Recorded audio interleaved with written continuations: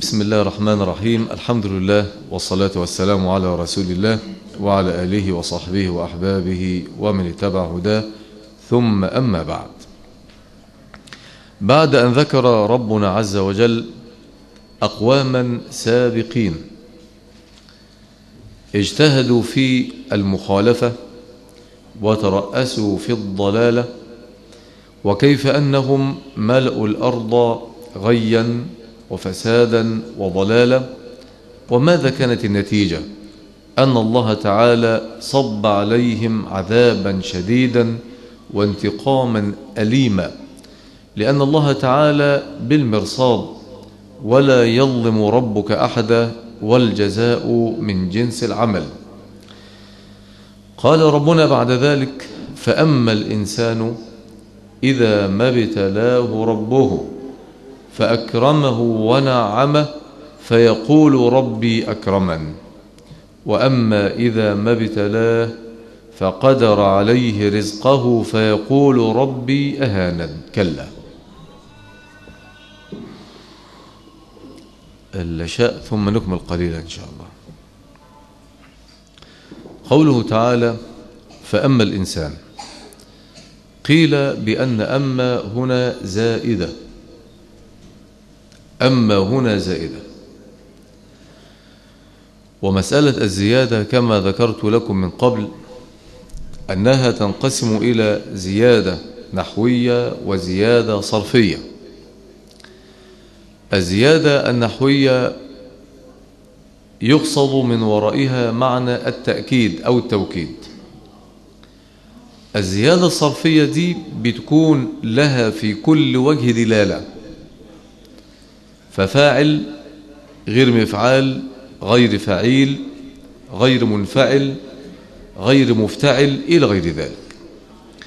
فقوله فأما الإنسان هذه زائدة للدلالة على التأكيد. إذا المعنى اللي جاي ده أراد ربنا عز وجل أن يؤكده عن طريق هذه الزيادة. وهذا قول وجيه. قيل الإنسان هو إنسان معين بعض الكفار في قريش. وقيل الإنسان هو الإنسان الضال المنحرف عن منهج الله. يرحمكم الله. قوله فأما الإنسان أي الضال المنحرف عن منهج الله عز وجل إذا ما ابتلاه ربه الابتلاء الاختبار. فأكرمه ونعمه.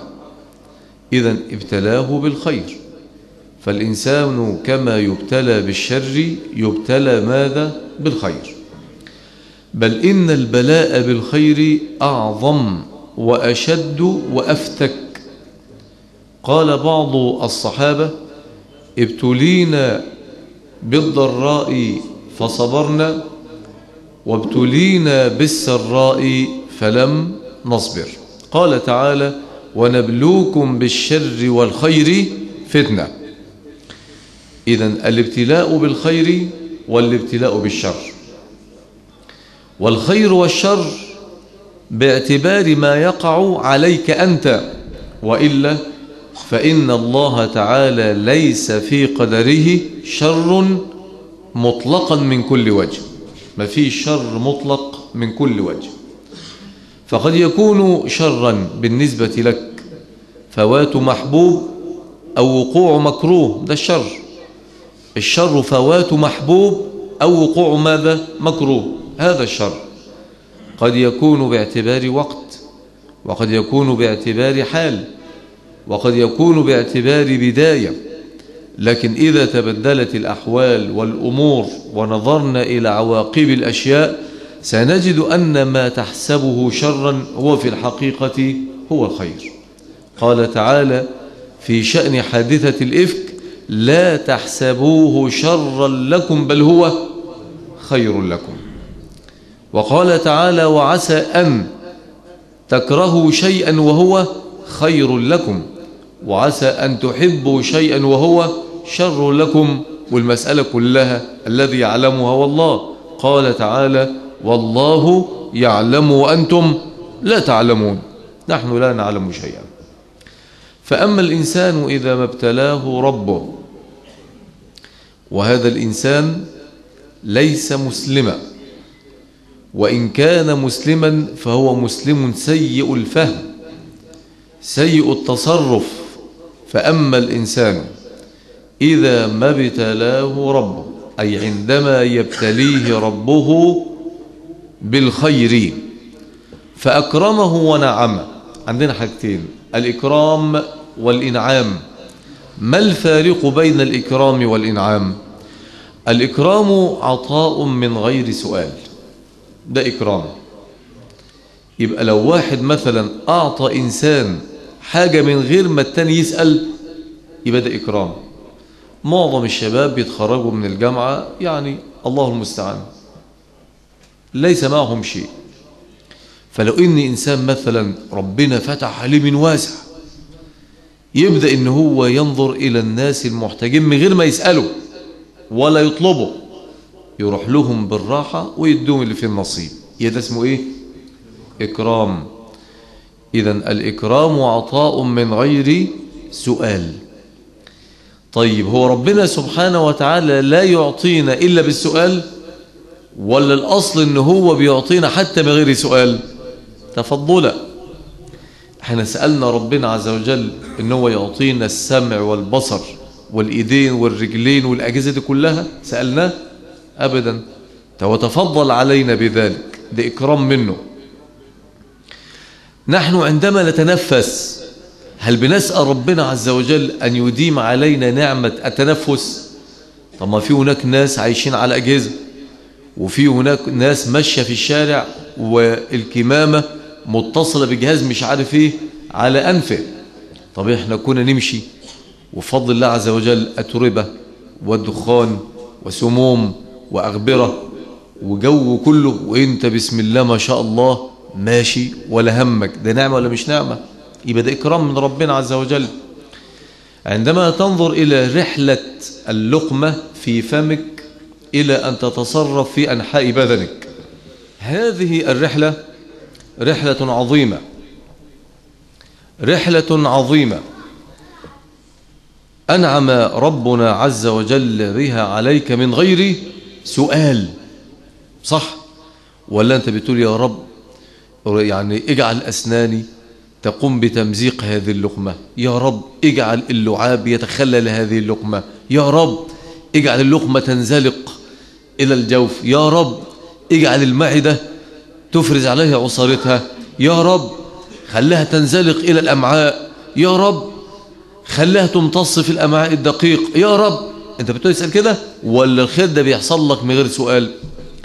فالأصل أن الله تعالى يزجي نعمه عليك من غير سؤال. ومع ذلك نحن نسأله أيضا. يعني مع أن حياتنا كلها كرم من الله وأنعام متواصلة من الله لكن نحن في حاجة إلى أن نسأله دائما. والعجيب أن الله تعالى يحب من يسأله. اللي يسأله كتير يحب ربنا. ومن لم يسأل الله كما قال النبي صلى الله عليه وسلم في الحديث يغضب عليه. لا يتبرم. من إلحاح عبده في سؤاله بل يسعد لذلك يسعد لذلك سبحانه وسبحانه. يبقى فأما الإنسان إذا ما ابتلاه رب فأكرمه عايشين كلنا بالإكرام. كلنا أكلنا وشربنا وكل شيء كله كرم من الله عز وجل. حتى دخولك الخلاء وقضائك الحاجة. تصور لو أنك دخلت الخلاء وأصابك إمساك شديد. أخذت الملينات والمرطبات وال... كله لم يجدي فتيلة. لم يجدي فتيلة. تتلاقي أمنيتك في الحياة حاجة واحدة بس إن أنت إيه؟ إن أنت تتخلص مما في بطنك. مزاجك منحرف لنوم لا أكل لا تفكير لا رأي والدنيا كلها تغيرت أحوالها. من أجل ماذا؟ من أجل فضلاتك أنت. إذا عندما تدخل الخلاء لتقضي حاجتك هذا أيضا إكرام من الله عز وجل. ولذلك إحنا بعد قضاء الحاجة نقول الحمد لله الذي أذهب عنا الأذى أو عني الأذى وعافاني. يا سلام. بتشكر ربنا وتحمده على هذه النعمة. نحن نعيش يا إخواني ونحن في غفلة سادرة. والله نعيش ونحن في غفلة سادرة. غفلة كبيرة جدا. الواحد فينا لو صلى وقعد شوية في المسجد قرأ شوية قرآن وعمل أي حسنة صغيرة يقول لي أنا عملت. ماذا صنعت؟ لم تصنع شيئا. لم تصنع شيئا. فأما الإنسان إذا ما ابتلاه ربه فأكرمه. مش كده وبس. قال ونعم أي وسع عليه في الإكرام. ممكن يبقى الإكرام على قدر الحاجة لكن لما يكون الإكرام واسع يبقى دي إنعام يبقى ربنا عز وجل بيتفضل علينا بالإنعام بالإكرام وماذا؟ والإنعام. بيتفضل علينا بالإكرام والإنعام. ولذلك لما يجي لك ضيف بتقول إيه؟ إكرام الضيف. والنبي صلى الله عليه وسلم قال من كان يؤمن بالله واليوم الآخر فل يكرم ضيفه. لأن الضيف مش هيقول له لو سمحت هات لي شوية رز وشوية خضار وما تنساش حتتين مخلل كمان وبعدين السلطة اللي مهمة جدا. جيب شوية سلطة. ويا ريت قبل الأكل جيب شوية فاكهة.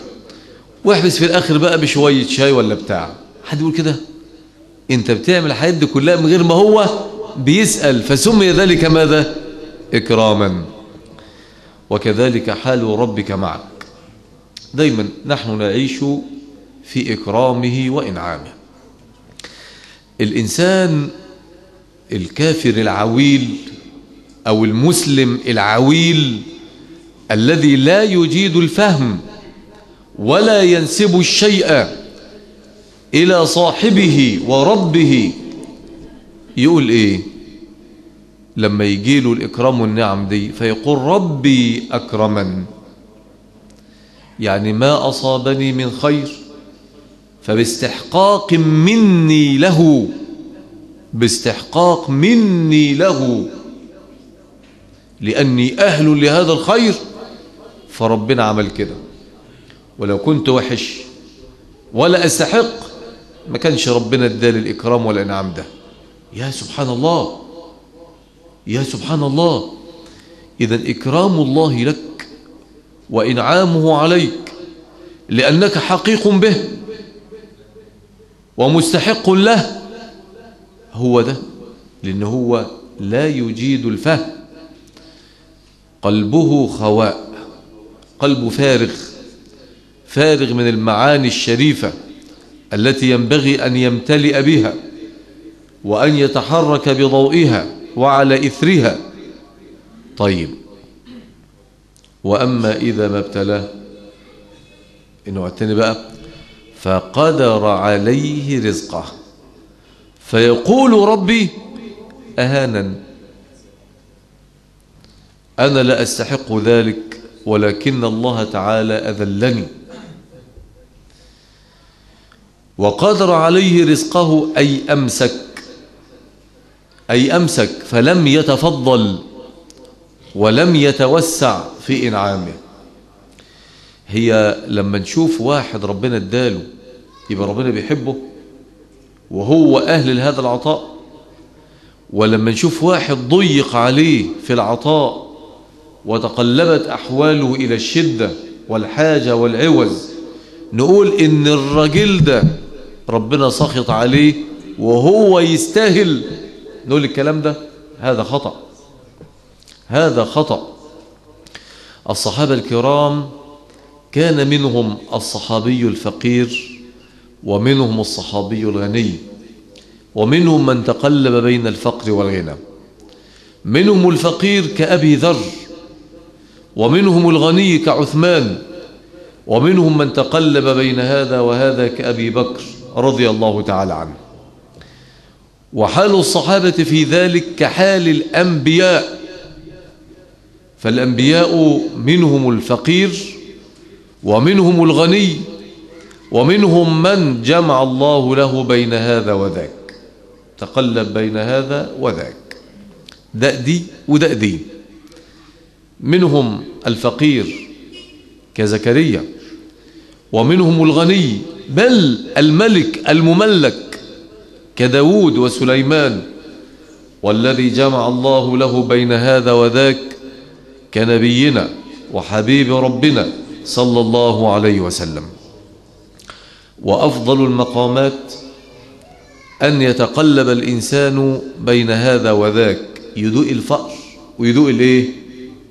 ويدوء السعة حتى يعرف هذا وذاك. فإذا كان في مقام الحاجة والتضييق صبر. وإذا كان في مقام السعة والنعمة شكر. يبقى الإنسان يتقلب في مقامات الصبر والشكر. وهذا حال النبي صلى الله عليه وسلم وحال المصطفين من عباده. أنهم إذا وسع لهم في الرزق شكروا الله. وإذا ضيق عليهم فيه صبروا على أمر الله. بخلاف هؤلاء الناس الذين يقيسون الأمور بذواتهم. إن إحنا ربنا راضي عنا فدان. إن إحنا نستحق هذا العطاء. إن إحنا لو كنا غلط ما كانش ربنا إيه؟ إدانا. ماشي؟ وفي المقابل إذا ضيق عليه رزقه يقول أنا لا أستحق هذا التضييق. إن الله تعالى أذلني ويشتكي الله تعالى لخلقه ويتبرم من قدر الله عز وجل. ولهذا قال ربنا عز وجل كلا كلا لها معنيان. المعنى الأول بمعنى نعم حقا. الكلام ده بالفعل بيحصل. أن هناك أصنافا من البشر هذا حالهم. والمعنى الثاني لعله أولى في هذا السياق أن كلا هنا بمعنى لا. فعطائي ليس دليلا على حبي له ومنعي ليس دليلا على بغضي له. ليس الأمر كما يظنون. وهذه الأداة مع أنها تحتمل معنى النفي ففيها معنى التهديد والزجر. فيها معنى ماذا؟ التهديد والزجر. ليه؟ لأن قائل ذلك متألي على الله. هو مسألة الغنى والفقر. من الذي يملك هذا؟ هو الله. هو الذي يأمر. فإذا أمر كان أمره هو الكائن. إنما أمرنا لشيء إذا أردناه أن نقول له كن إيه اللي يحصل؟ ثم يكون. أمال إيه؟ فيكون على طول. مباشرة. مباشرة. كلا. بل لا تكرمون اليتيم. المشكلة أن هؤلاء الناس لا يكرمون اليتيم بل هنا للإضراب. ويبتدئ المعنى من أول لا تكرمون اليتيم. يعني بل للإضراب يعني سيبكم من الكامل الفضل بتاعهم ده. كلا بل لا تكرمون اليتيم. كلا بل لا تكرمون اليتيم. اليتيم ضعيف. في حاجة إلى من يكلأه ويرعاه ويقوم على شأنه من غير أن يطلب ذلك لأن اليتيم لا يدري مصالحه ولا يدري وجوه المنافع له فيحتاج إلى من يقوم بذلك من غير سؤال ولا طلب. طيب إيه اللي يحصل؟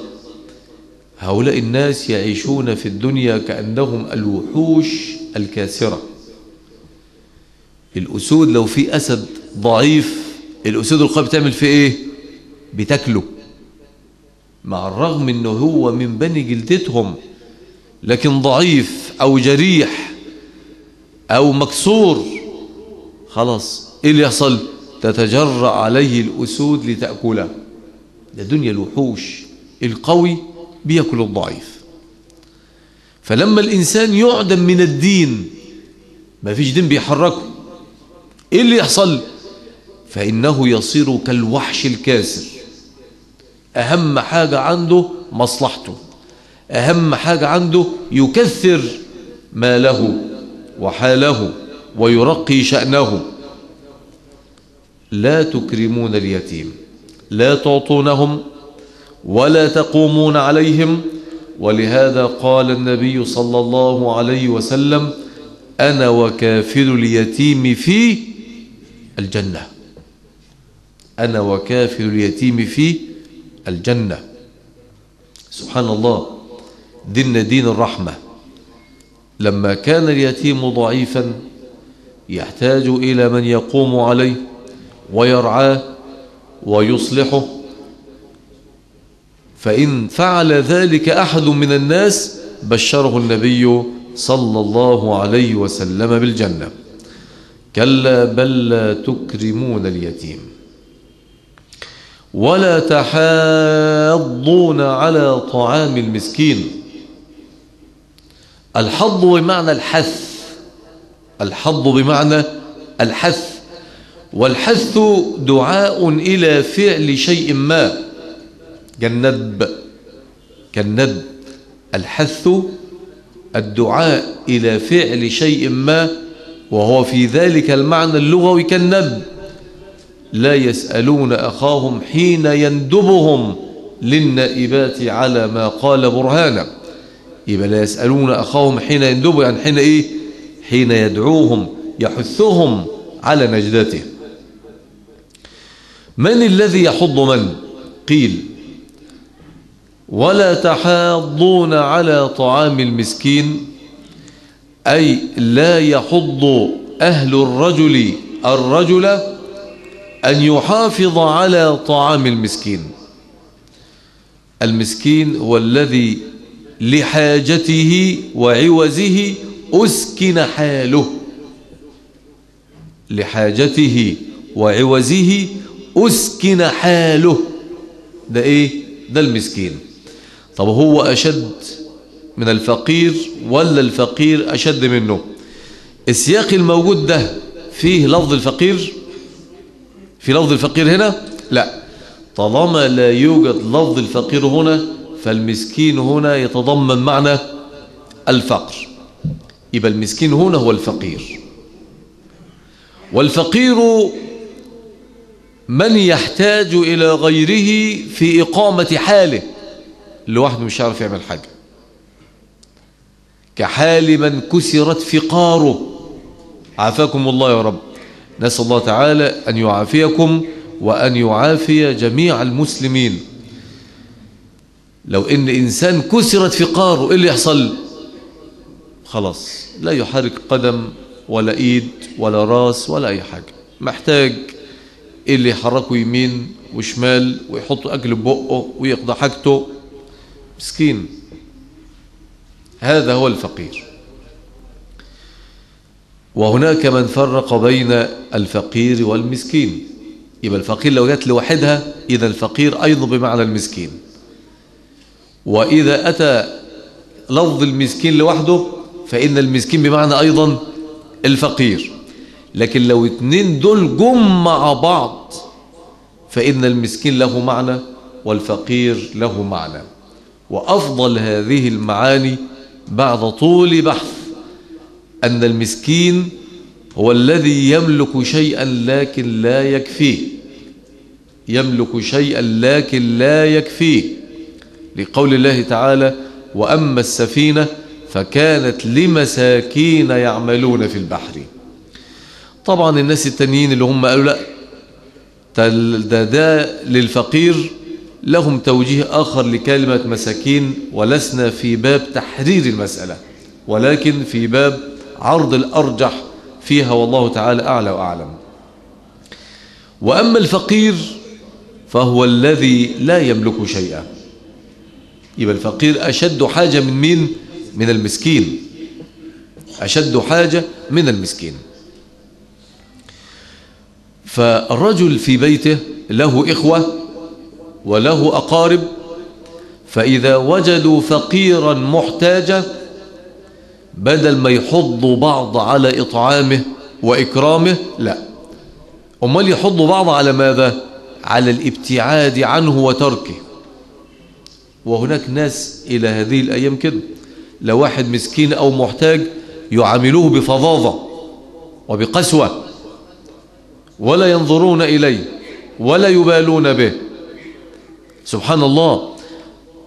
وإذا وجدوا غنيا ميسور الحال احتفوا به وأكرموه وأقبلوا عليه وبشوا وهشوا له. بينما الفقير يعامل بغلظة وشدة. ده خطأ كبير جدا يا أخوان. الفقير ده ينبغي أن يخالط وأن يطيب خاطره وأن يساعد وأن يربط على كتفه ويمسح على رأسه وأن يشجع وأن يعان وأن يجلس بجواره إلى غير ذلك. أما هؤلاء فإنهم لا يحض بعضهم بعضا على إطعام هذا المسكين. يعني وصل الحل بالمسكين إنه هو مش عاوز إلا ماذا؟ إلا الأكل. ومع ذلك هم يقصرون في إطعامه. آه في بعض الأماكن ممكن تجد ناس ربنا فتح عليهم وجيرانهم يتقلبون في الفقر والحاجة وربما يمكثون اليوم بطوله لا يجدون لقمة يسدون بها رمقه شفنا الكلام ده بأعيننا. وجيرانهم بسم الله ما شاء الله طبخين وعندهم وعندهم ولكن لا يلتفتون إلى جيرانهم. ما الذي حدث في هذه الأزمان؟ الناس أيام زمان الواحدة لو خبزت بتوزع نص العيش اللي خبزته على الناس المحتاجين في الشارع وعلى الجيران. لما تطبخ تكتر الرز شوية عشان الحاجة فلانة والحاج فلانة والخالة فلانة يدوا الجيران. وإحنا كنا صغيرين كان الكرنب ده بيتوزع على الجيران ما كانش بيتباع ولا بيتشرى. الجرجير وال... والشبت والبقدونس والسريس والخير ده كله بيتوزع على الناس. الفلاحين كلهم يبيعوا اللبن ده عيبة عيبة وقلة قيمة يوزعوه على الجيران. الله إيه اللي حصل في هذه الأزمان؟ اللي حصل في هذه الأزمان أن الناس أقبلوا على الدنيا واستمسكوا بها. فكان العقاب إن الدنيا تفر منهم وهم يجروا وراها طب يا ترى هيطلوها؟ مش هيطلوها. سبحان الله الأول النفوس راضية والنفوس مطمئنة والناس يعين بعضهم بعضا. الواحدة لو راح هي مشوار تدي ابنها ولا بنتها لجارتها تغسل لها وتشطفها وتحميها وترضعها وكل حاجة. وتيجي بعد عشر ساعات تلاقي بنتها في الحفظ والصوم. ممكن دلوقتي مصالح الناس تقف نودي البنت فين؟ تبوها في تاني بلد واختها في تالت بلد واختها التالتة في رابع بلد. الدنيا تقف أو نعمل بقى حضانات للأطفال الصغيرين نرمي فيهم العيال. سبحان الله الدنيا اختلفت تماما. الإنسان عندما يغمض عينه ليتذكر أيام الصبا وما قبل ذلك وكيف كان الناس وأحوال الناس يتعجب. الآن الناس بيشتروا المخلل بيشتروا المخلل هات لي بجنيه مخلل. أيام زمان كان المسألة دي مذمة. مخلل يتشرع ويتباع إزاي؟ الكرنب مجانا والقرنبيط بخير ربنا. الناس تعمل مخلل وتدي لبعض. أنا أعرف امرأة عليها رحمة الله كانت تعمل بلاليص المخلل ده بسم الله ما شاء الله وأي ولد يروح أو بنت تروح عاوزة مخلل تملى لها الوعاء معاك حلة تتملى طبق يتملى آه، طبس يتملى خيرات ربنا. الناس كانت بسيطة وناس غلابة بس شايلين بعض بيخافوا على بعض بيحبوا بعض. في نسبة أمان داخلي عالية جدا. وطبعا كل الناس اللي سنهم فوق خمسين سنة يوافقونني هذه المشاعر التي لا نشاهدها هذه الأيام أبدا أبدا. كل حاجة دلوقتي بتتباع وبتتشرى كل حاجة. كل حاجة الآن الحاجة الوحيدة التي ليس لها قيمة حاجة واحدة بس. مين هو؟ الإنسان. ليه؟ لأن قيمته بالدين. فلما ترك الدين ما عادش له قيمة. كلا بل لا تكرمون اليتيم ولا تحاضون على طعام المسكين. أمال بتعملوا إيه؟ وتأكلون التراث أكلا لما وتحبون المال حبا جما. ده اللي إحنا عايشين فيه. نسأل الله تعالى العافية. من أغرب ما رأيت أن رجلا وسع الله تعالى عليه أراد إخوته أن يستولوا على ماله. إيه اللي حصل؟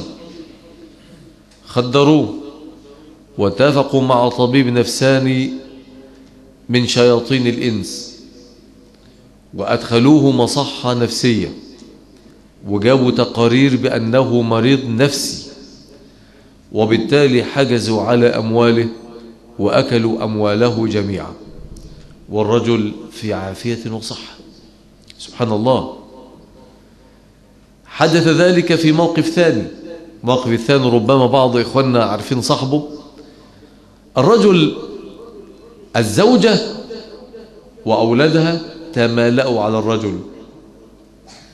ونفس الموضوع بالضبط. خدروه واشتلوه وجابوا شهادات طبية أنه مرض نفسي حتى يحجزوا على أمواله وممتلكاته. والابن الصالح طردوه الذي وقف أمام الفساد طردوه وأغروا به سفهاء الإنس وشرد تشريدا نسأل الله تعالى أن يثبته. سبحان الله دي يا إخواني قصص من الحياة وأصحابها بعضهم لا يزال إلى الآن يعيش وبعضهم قد مات. وإخواني يعرفون شيئا من ذلك الأمر. ما الذي يحدث؟ تأكلون التراث. التراث اللي هو الميراث. التراث اللي هو الميراث. ليس المقصود بالتراث اللي هو ما خلفه لنا السابقون من المعارف والعلوم. هو تراث بمعنى الميراث والميراث لابد أن يحافظ عليه وأن يوضع في مكانه ده الميراث. ولذلك الميراث بتاع أسلافنا لابد أن إحنا نحافظ عليه. ولابد أن نضع ميراث أسلافنا في المكان الصحيح. أما هؤلاء فإنهم يأكلون ما لا يجوز لهم أكله من أموال وميراث اليتامى والضعفاء. قال تعالى أكلا لما.